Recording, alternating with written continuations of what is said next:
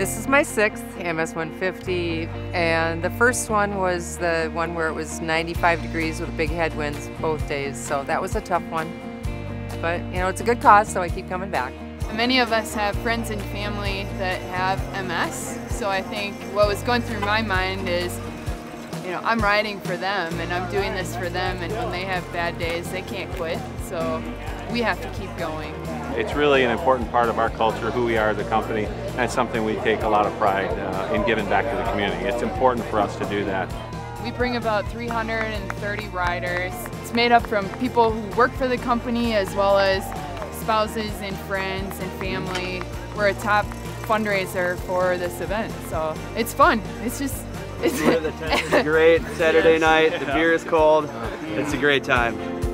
We're anxiously waiting all the riders to come in so we can feed them and take care of them after they've done a long, grueling ride today in warm, windy weather.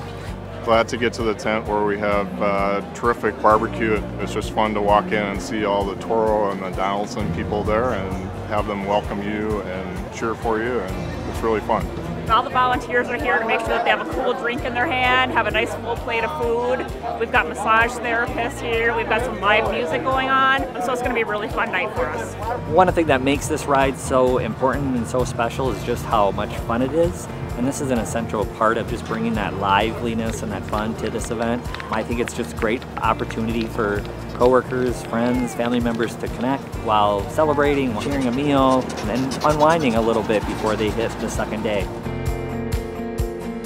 We'll bring all the manpower and make sure that we have a successful rest stop, all the food and drink everybody needs. I asked my parents and a couple friends if they'd come and help out with volunteering, and I said it would be at 7:30 in the morning.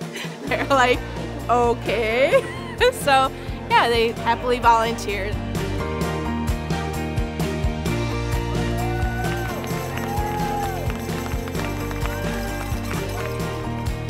Glad the event is over because it's nice to be here, but at the same time, you don't want it to be over.